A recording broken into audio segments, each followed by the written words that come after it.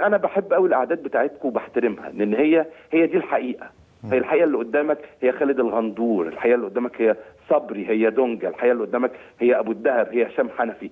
الناس كلها بتحترم بعض وبتتكلم مع بعض بأدب واحترام. صحيح. آه، وبيتكلموا آه، عن الأجيال اللي قبلهم باحترام وتوقير وتقدير يعني مقدرين الدور اللي أنتوا لعبتوه.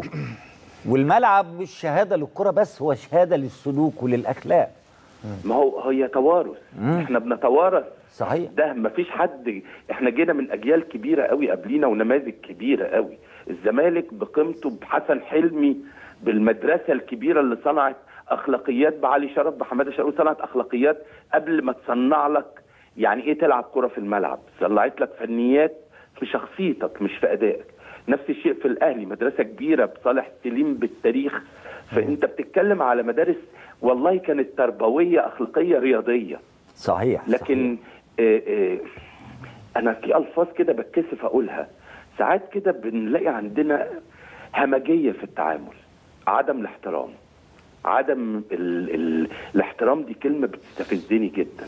لأن أنا ممكن أختلف معاك بس آه عادي طبيعي ما- إن ما إحنا اغلطش نختلف. فيه. نختلف يعني في أنا مثلا الانتماء وعفوا وفي الرؤية. كلامي بكلمة واحدة.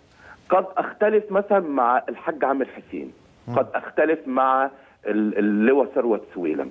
لكن مختلف معاهم على الصعيد الإداري في منطقة كده. ما ينفعش أغلط فيهم. طبعا. ما ينفعش أغلط في, حاجات تانية أنت مختلف مع الموضوع. قرارات أو كلام بيقولوه لا يتناسب مع المنصب من وجهة نظرك. بس لا مش لا يتناسب. قد يكون هو وجهة نظره كده وهو عنده خلي بالك عنده حاجة مختلفة عننا. هو في المطبخ. صحيح. فعنده مشاكله الخاصة اللي بيقدر يتكلم بس منها. فبتطلع قدامنا بشكل أحيانا ما نحبهوش. فبنعلق عليه. لكن أنا عايز أعلق عليه. ما أنت مدام مكان متطوع فيه. مكان تطوعي. من حقك إن أنت تتقبل النقد.